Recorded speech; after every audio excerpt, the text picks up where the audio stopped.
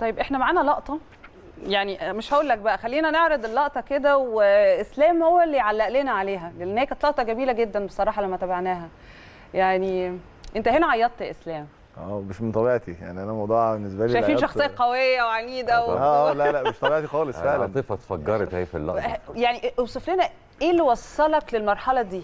آه بصي أنا أصلا فعلا يعني الناس كلها اللي تعرفني آه، يعني لو تكلموا أي حد موضوع العياط ده بالنسبة لي آه، مش وارد. صعب جدا جدا آه. في شخصيتي لكن آه، دي كانت ناتجة ناتجة السنة دي بالذات إن أنا حاسس إن مجهود السنة كله اللي إحنا فعلا موتنا نفسنا فيه إحنا كانت سنة صعبة جدا بالنسبة لنا وبادئين. بدري جدا آه إن حسيته بيضيع بيضيع مننا إن إحنا الدوري ضاع في ثانية. ايا كان خطأ تحكيمي أو مش خطأ تحكيمي. لكن النتيجة في ثواني. في ثواني يعني الدوري ضاع مننا فده الواحد حس إن التعب ده كله والمجهود ده كله آه، كان آه، بيتسحب من تحت إيديه. يعني أنا كنت اليومين اللي هو بعد ماتش الدوري ده كنت نفسيتي ما كانتش كويسة جدا. كنت حاسس إن أنا الموضوع بالنسبة لي كارثي. إحنا ماتش الدوري كلنا كمشاهدين بس آه. فرهضنا من المتابعة. بالظبط كده. فالموضوع بالنسبة لي بالك أنتوا. بقى؟ كنتوا عاملين إزاي؟ ف...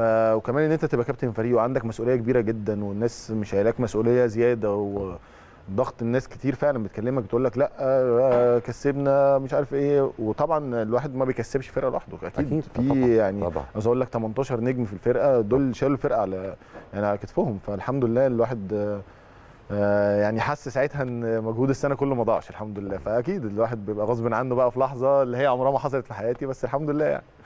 حلو. لا بس المهم إن أنت بتعوض وزي ما قلت بعدها بثلاث أيام فيعني بس ده كانت أهم حاجة بالنسبة لي هو يعني. ده بجد زي ما بنقول برضو الرد على الأرض فدي كانت أحلى حاجة طيب